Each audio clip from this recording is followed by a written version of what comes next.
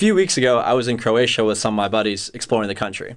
And for a lot of the little different adventures I did, I didn't take my phone or my camera uh, because I didn't want to lose it or to get lost. And so at one of those moments, I was kayaking through the Blue Cave. And so obviously I didn't want my phone to fall in the water uh, and wanted to just make sure, you know, to enjoy the moment. So I didn't take my phone. And because of that, I had no pictures. I didn't have anything to show to my family about what I was experiencing and what fun things I was doing. And so my first reaction was, why don't I find a picture online? You know, give them a sense of what I'm doing, get them a, a little feel for what's going on.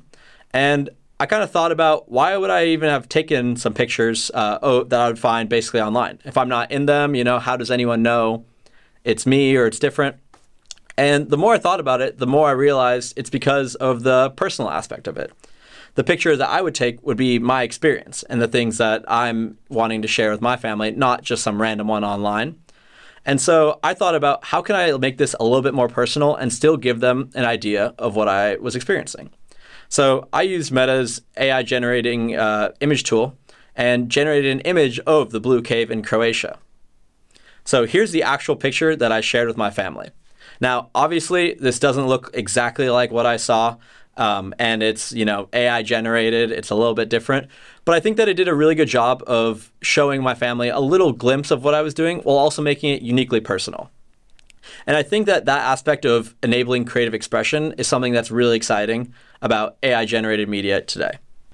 And so first there came Midjourney, which came to the scene with image generation, and then a couple other players came in to fill this need of creative expression. Um, there was a mini evolution in the industry as well. First with playful, cartoony stickers, to then photorealistic images that continue to increase in quality and fidelity. And then finally, in this little evolution of creative expression came short form moments. And so with this came animations. And so at Meta, here's what we came up with from a product standpoint. Delivering high quality AI generated animation in just a few seconds. Now, in this talk, I'm going to share a bit more about how we pulled this off, including how we solved for some really tough challenges along the way. And so first, for a little bit of background, why is this actually hard to do? And so that part is threefold. The first being safety. Safety, there's a lot of coverage from government regulation to user reception, and it's a new space. We're definitely excited to be here and really excited to build responsibly here. We ensure that all of our media products have watermarks, both cryptographically and invisible, as well as visible, so that people can know when they're seeing this synthetic generated media, or if it's an authentic image that maybe someone else had taken. The other one is cost. Obviously, running these at scale on a lot of GPUs around the world can be really expensive, and even the cost of those themselves. And the third is scale. We have people using our products every day around the world how can we make sure that we give these new tools to them in a way that's really accessible and is scalable? We don't want it so that if someone was to generate an image, they don't get anything back. We want them to always be able to get the excitement of asking for something and being able to receive it within our products. So scale is the one that we'll spend the majority of this talk discussing. I'm Gaurav Sharma, software engineer on Meta's generative AI team. And today in this talk, I will be talking a bit about the way we launched the Animate product, the challenges we faced along the way, some of the novel model optimizations and infrastructures that we infrastructure changes we made to handle the scale. And then I'll also give a little peek into the future and see a little bit of what's next. So first, let's talk about optimization. So we utilized a lot of different optimization techniques to make our model one of the fastest in the industry, generating high quality animations in under five seconds. So there was quite a few different ones, but the two that I'm going to focus on today was the use of Python predictor and guidance plus step distillation. So let's jump into the first one. So Python predictor. This one refers to the deployment and architecture changes and was two transformations that we actually did. The first of them was leveraging torch scripting and freezing. By converting the model from pure PyTorch to TorchScript, we achieved many automatic optimizations. These included constant folding, fusing of multiple operations into one, and reducing the complexity of the computational graph. These three optimizations helped to increase inference speed, while freezing allowed even further optimization by reducing the number of dynamically computed values, and we were able to use constants instead. And while these were critical for our initial launch, we have continued to push the boundaries. For example, we have since migrated all of our media generation to use PyTorch 2.0. This is a change from the TorchScript solution that I just mentioned. And so some background on PyTorch 2 before we jump into it even a little more. So there's two types of execution, eager execution and graph execution. Eager execution is when we evaluate the operations immediately and at runtime. These ones are typically easy to write, easy to test, and debug. And they usually have a Python-like syntax design. However, because of its nature, it fails to fully leverage the capabilities of hardware accelerators like GPUs, which have been continuing to get better and better every day. PyTorch is a common example that follows eager execution. The other one is graph execution. Graph execution, on the other hand, builds a graph of all the operations and operands before running. Such an execution is much faster than an eager one because the graph can be formed in a way to optimize and leverage the capabilities of these hardware accelerators and nice GPUs. However, such programs take much more work to write and debug. TensorFlow is a typical example that follows graph execution. And so continuing on about that, uh, PyTorch 2 provided a few new things uh, that build up the optimizations we get from it. So the first of it is Torch Dynamo. This allows for the PyTorch program to acquire graphs with 99% safety, without errors, and negligible overhead. The second one is AOT Autograd. And so this is the new PyTorch Autograd engine that generates ahead of time backward traces. Another one we leveraged is the OpenAI uh, deep learning based compiler known as Torch Inductor. And so this allows for generating fast code for multiple accelerators and backends and is really useful. And so the next part is Torch Compile. This is one that really allowed us to build up some of the optimizations and has three main parts. The first being graph acquisition. The model is broken down and rewritten into subgraphs. The subgraphs can then be compi compiled or optimized and are then flattened. And so the subgraphs that can't be uh, optimized or flattened, we just run those back in the eager model, but we still get the benefits of the ones that can. The second part is graph lowering. All PyTorch operations are decomposed into their chosen backend uh, specific kernels, and this makes it really easy to use. And then finally, graph compilation. All the backend kernels uh, call their corresponding low-level operations, and we're able to do that really efficiently. And so this ultimately allows us to drastically reduce the complexity of the graph, making our products much faster and reducing the latency. The next optimization is guidance and step distillation. And so this one is more of an advanced strategy in machine learning, particularly in the context of trained diffusion models for tasks like conditional image generation and uh, animations. And so let's break this down into the two optimization strategies mentioned, step distillation and guidance distillation. Um, so first one, step distillation. This is a technique used to compress the knowledge from a larger model, the teacher, into a smaller model, the student, over fewer training steps. Here's how it works. Initialization. Both the teacher and student models are initialized with the same weights. This ensures that they start with the same knowledge base. Then, for the training objective, the student model is trained not just to replicate the output of this teacher model at each step, but to encapsulate multiple steps of the teacher as a single step of the student. This means that the teacher model takes multiple steps to reach a certain level of understanding or output quality. The student is expected to do it in much fewer steps. And so the efficiency here is we've essentially compressed the knowledge and capabilities of a more complex model into a simpler one with fewer operational steps. This leads to faster inference times and reduced computational costs during deployment. The second optimization is guidance, is guidance distillation. And so guidance distillation is particularly relevant in the context of diffusion models and for conditional media generation. Diffusion models typically require multiple forward passes based on the different conditions. So for the unconditional pass, we generate a baseline piece of media without any conditions. And then for us, we used two conditional passes, an, an image conditional and a full conditional, which was text plus image. And so this generates images based on the specific conditions. And then in a traditional setup, Each solver step in the diffusion process would require separate forward passes for each condition type, significantly increasing computational load. So the optimization here is that we make it one single forward pass.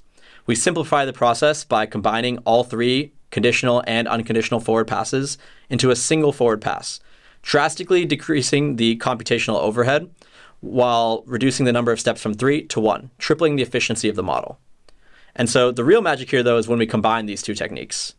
So we do call this guidance plus step distillation. And so it has three main parts a unified training approach, which is training the student model to not only perform multiple teacher steps in one go, but also integrate the classifier free guidance into a single forward pass. This makes the training and inference processes highly efficient. The second is reducing the solver steps. The final student model for us requires significantly fewer solver steps, going from 32 to 8 in the example here. And each step just involves one forward pass through the model's UNet architecture. And so the combined approach here not only reduces the computational load and speeds up inference, but also simplifies the model architecture without sacrificing any performance.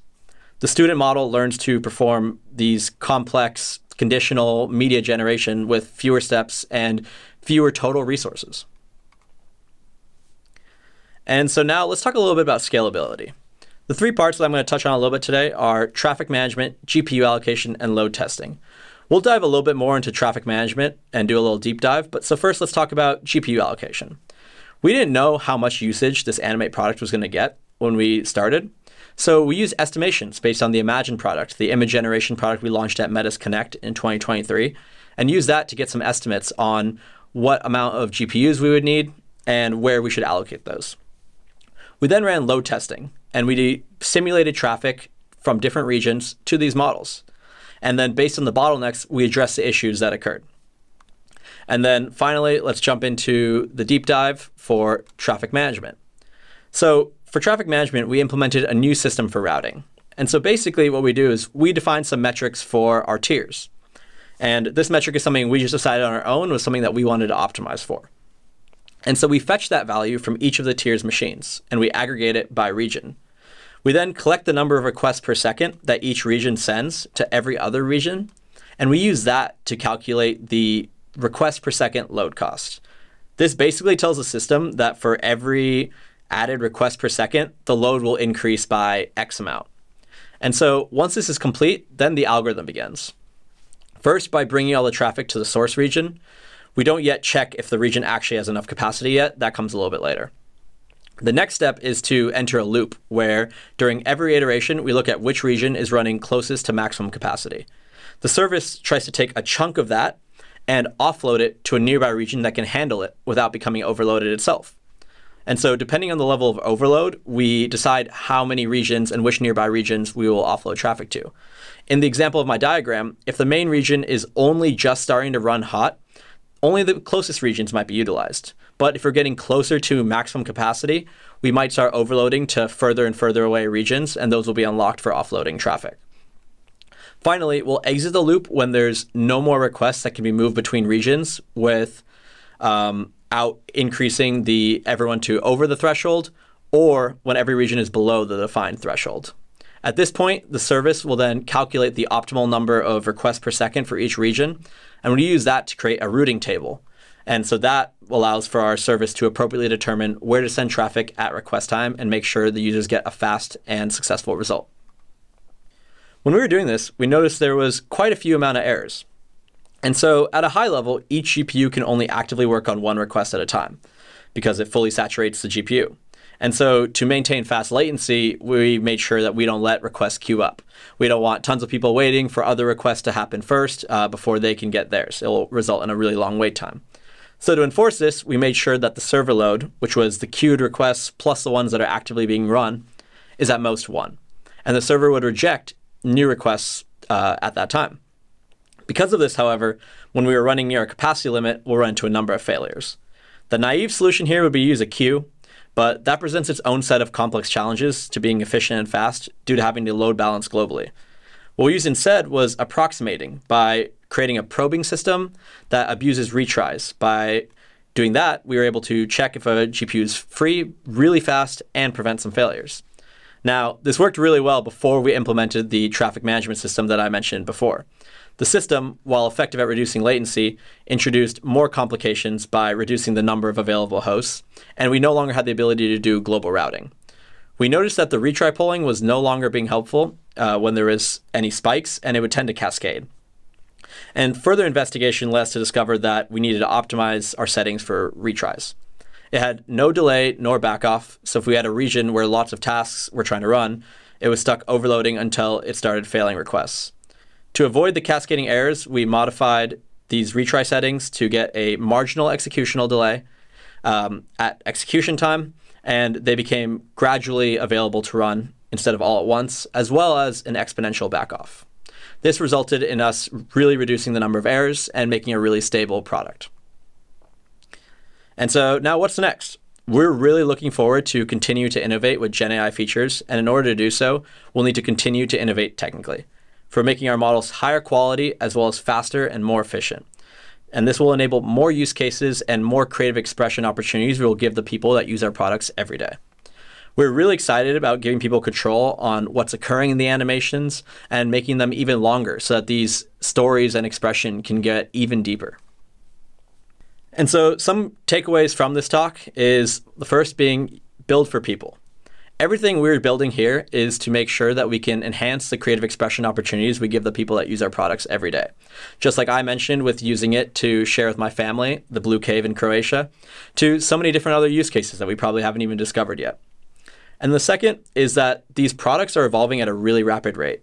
And there's a lot of opportunity in this space, and it's really exciting.